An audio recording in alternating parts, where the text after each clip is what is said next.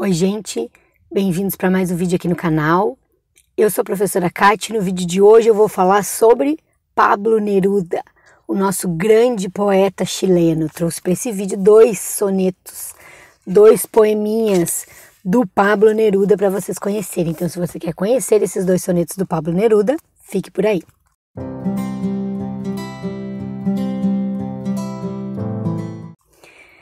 Gente, então é o seguinte, essa é a semana da poesia aqui no canal. Para quem acompanha o canal, eu vou ficar do dia 2 de maio de 2021 até o dia 9 de maio de 2021 falando só sobre poesia.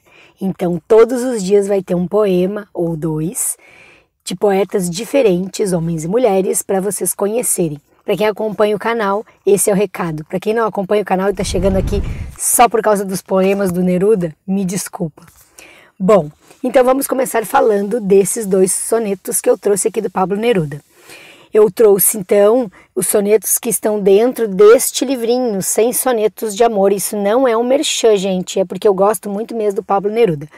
Então eu trouxe um poema que está na parte da manhã e um poema que está na parte do meio-dia. Mas como assim? Bom, esse livro ele é dividido em partes, ele é dividido em quatro partes: amanhã, o meio-dia, tarde e a noite. E todos os poemas falam sobre amor. Então, eu vou ler para vocês e depois eu vou conversar um pouquinho com vocês sobre um, o poema chamado A Matilde. E ele diz o seguinte: Matilde, nome de planta ou pedra ou vinho, do que nasce da terra e dura.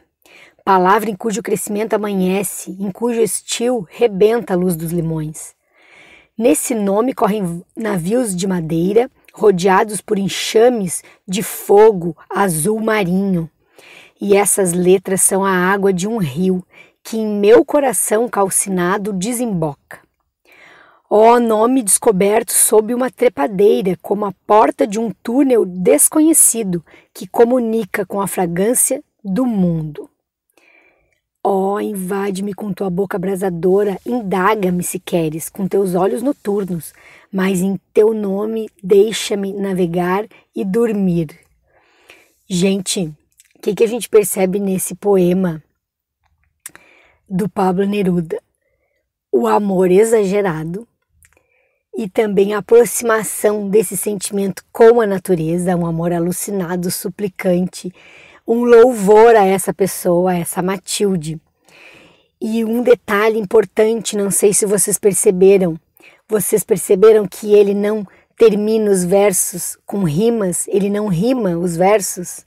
Então, se os versos não são rimados, eles são versos brancos, eles não têm rima, isso é sensacional. Você fazer um soneto com rima já é difícil, imagine encadear a ideia sem rima. Sensacional. E agora eu quero mostrar para vocês um outro que eu selecionei aqui, que é o soneto Amor, que está na parte do meio-dia desse livrinho aqui dos 100 sonetos de amor do Pablo Neruda. E ele diz o seguinte: Amor. Agora nós vamos à casa onde a trepadeira sobe pelas escadas. Antes que chegues, alcançou teu quarto o verão nu, com pés de madre silva. Nossos beijos errantes percorreram o mundo. Armênia, espessa gota de mel desenterrada, Ceilão, Pomba Verde e Tianxé, separando com antiga paciência os dias das noites. E agora, bem-amada, pelo mar crepitante voltamos como duas aves cegas ao muro, ao ninho da longínqua primavera. Porque o amor não pode voar sem deter-se ao muro ou às pedras do mar.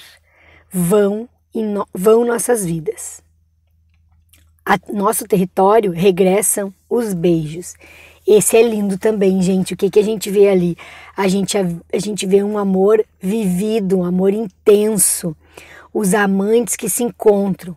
E de novo, a questão dos versos que não rimam, isso é sensacional, característica aí desses poemas que eu trouxe. E, e construção em soneto, o tipo de verso mais difícil de se escrever, vocês sabem, né? Estrutura mega fixa, quatro estrofes, duas estrofes com quatro versos, duas com três versos, totalizando 14 versos. Então, era isso que eu queria falar com vocês, era, era sobre esses, esse tipo de poesia que eu queria falar com vocês. Umas, uns poemas assim que são trazidos com muita humildade e, e muita delicadeza na escolha das palavras. Então, gente, espero que vocês tenham gostado do vídeo. Eu vou parando por aqui.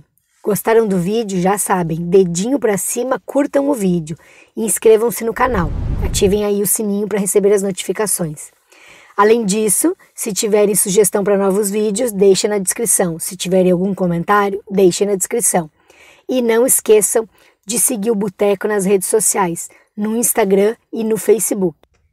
Antes de terminar esse vídeo, gente, eu quero deixar alguns recados sobre as minhas aulas para aqueles alunos que estão estudando para as provas de vestibular da FUVEST da Unicamp e de outros vestibulares do Brasil. Para esses alunos eu montei grupos de estudos onde nós vamos estudar as leituras obrigatórias dos vestibulares. Então, se você quer participar desses grupos, quer saber mais sobre esses grupos de estudos, é só me chamar nessas formas de contato que vocês estão vendo aí no vídeo. O meu e-mail pessoal ou pode mandar uma mensagem pelo Instagram aqui do Boteco. Além disso, para aqueles alunos que estão na faculdade, na escola ou se preparando para o vestibular, mas têm outras dificuldades, dificuldades específicas na história da arte, na literatura em geral e na redação, podem me procurar também nessas formas de contato que eu atendo esse tipo de aluno e também atendo aquelas pessoas que amam a arte e a literatura e querem conhecer um pouco mais sobre a arte e a literatura sem compromisso e sem pressão de provas. Essas pessoas também podem me chamar nessas formas de contato que a gente combina às aulas. Dito isso, eu vou parando por aqui. Agradeço quem ficou até o final do vídeo e até a próxima.